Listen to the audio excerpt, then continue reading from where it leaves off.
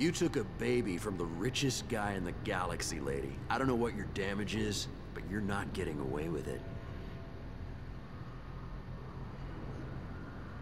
You're not getting Miranda's sister.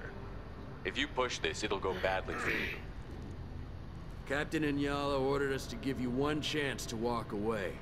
This whole time we've been talking, my men have been lining up shots.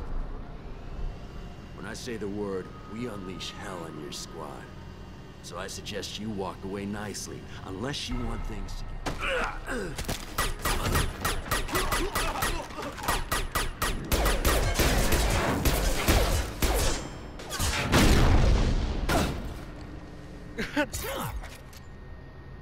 Get I fucked, see you, Shepard. nerds! He goes. Understood.